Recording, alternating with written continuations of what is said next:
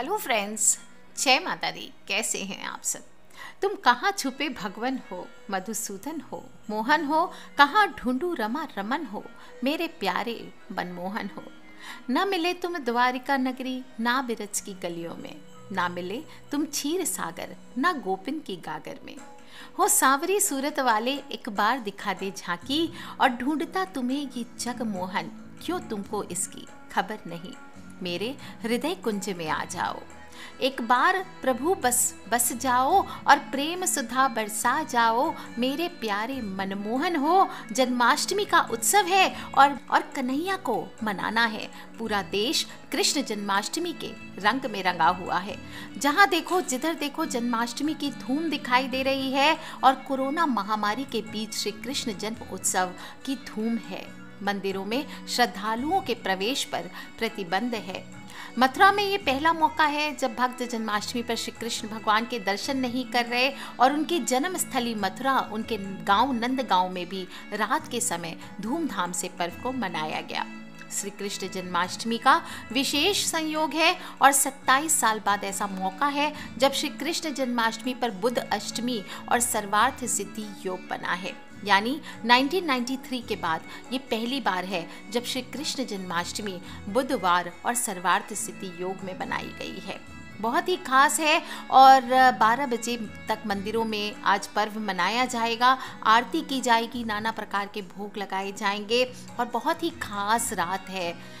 बहुत सारे उपाय इस रात में करने से क्योंकि ये तांत्रिक रात्रि मानी जाती, मोह रात्रि मानी जाती है, बहुत कारगर होते हैं और खासकर आज की रात तीन राशि वालों के लिए बहुत ही विशेष है। तुला राशि, मकर राशि और मीन राशि। तुला राशि वालों के लिए जो योग बन रहा है, ये बहुत ही लाभकारी है। आर्थिक मोर्चे पर फ़ायदा होता दिखाई दे रहा है, चिंताएँ दूर होगी, रुका हुआ धन मिल सकता है और काना को माखन का भोग लगाइए, साथ ही दही से उन्हें स्नान कराइए यह आपके लिए शुभ होने वाला है। मकर राशि वालों के तरक्की के द्वार खुलने वाले हैं। जो स्टूडेंट्स हैं, उनके घर में आज के दिन आपको काना को झूला ज़रूर झुलाना चाहिए और गंगा जल से लाला को स्नान कराइए। प्रमोशन के रास्ते खुलेंगे। जो मीन राशि वाले, उनके व्यापार में सफलता मिलती दिखाई दे रही है। सभी परेशानियाँ आपकी इस कृष्ण जन्माष्टमी पर दूर होने वाली है। दूध से स्नान कराइए, बर्फ़ी का भोग लगाइए कान्हा को और केसर ज़रूर मिलाएँ। इन तीन राशियों के अलावा वृश्चिक राशि वाले के भी सभी काम पूर्ण ज़रूर होंगे। धन संबंधी परेशानियाँ दूर होंगी और कन्या राशि वालों का भी भाग्य उदय होने जा रहा है। विवाह के प्रस्ताव आ सकते हैं। सिंह राशि वालों के, मिथुन राशि वालों की भी सभी इच्छाएँ ज़रूर पूर्ण होगी। मेष राशि वालों के भी रुके हुए काम अब पूर्ण होने लगेंगे। कृष्ण जन्माष्टमी पर कुछ खास बातें हैं। रात के समय आपको ध्यान रखना है। धन धान से घर भरा रहता है इससे। एक तो अगर आपके पास शंख है तो शंख से आप भगवान श्री कृष्ण का अभिषेक कीजिए। दक्षिणावर्ती शंख हो, नॉर्मल शंख हो, जो भी हो, उससे अभिषेक कीजिए। माता लक्ष्मी की पूजा इस समय आपको ज़रूर करनी चाहिए। इससे आपकी आर्थिक स्थिति बेहतर होती है और आपको कभी भी धन की कमी नहीं होगी। अगर आपके पास कौड़ियाँ हैं, लक्ष्मी कौड़ियाँ, जो पीली कौड़ियाँ होती है, वो आप पीले वस्त्र में बाँध कर माता लक्ष्मी की प्रतिमा के पास आज की रात अभिषेक करने के बाद रखें और फिर श्री कृष्ण भगवान और माता लक्ष्मी का पूजन एक साथ करें। पूजा करने के बाद कौड़ियों को पीली पोटली में अपनी तिजोरी में बाँध के रख ले। इससे माता लक्ष्मी की कृपा आप पर सदा बनी रहेगी, आपके धन में वृद्धि होगी।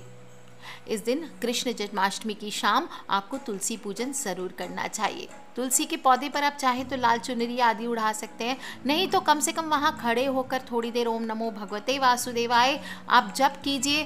दो बार पूरी माला का जप कर सके तो बहुत अच्छा नहीं तो ऐसे ही जनरल जितनी बार इच्छा हो बोलिए और एक दीपक वहाँ ज़रूर लगाना चाहिए। इससे आपकी आर्थिक परेशानियाँ दूर होगी, घर में समृद्धि आएगी। इस दिन दान का विशेष महत्व माना जाता है। कृष्ण अष्टमी का उपवास जो भी मनुष्य करता है, आपको थोड़ा सा दान धर्म ज़रूर करना चाहिए। गरीबों को फल, अनाज, ये आप दान कीजिए। किसी धार्मिक जगह पर, किसी मंदिर में, किसी मठ में जा करके, किसी अनाथ आश्रम में जा करके आप गरीबों को अपने सामर्थ्य के अनुसार दे सकते हैं।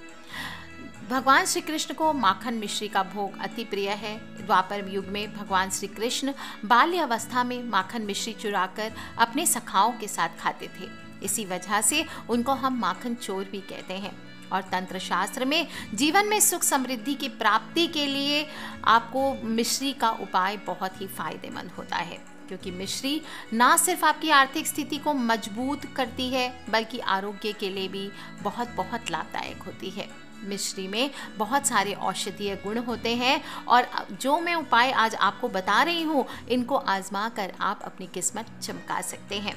घर में सुख समृद्धि के लिए इस दिन भगवान श्री कृष्ण को माखन मिश्री ज़रूर अर्पित कीजिए और माखन का भोग तो ऐसे भी उत्तम होता है और साथ ही साथ उसके ऊपर थोड़ा सा तुलसी और मिश्री आपको ज़रूर रखना चाहिए। इससे भगवान श्री कृष्ण का आशीर्वाद आपके ऊपर बना रहेगा और घर में सुख शांति का वास होगा।